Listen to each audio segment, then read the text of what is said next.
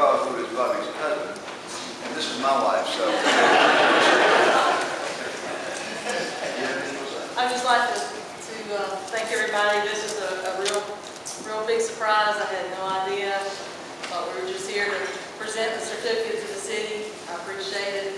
I'd like, I'd just like to say that if, if we didn't have the support of the chief, um, this CALEA process would be for naught. It would not, it would not run as smoothly. We would not have all this going on and the support of all of our, our city council and our mayor and city manager.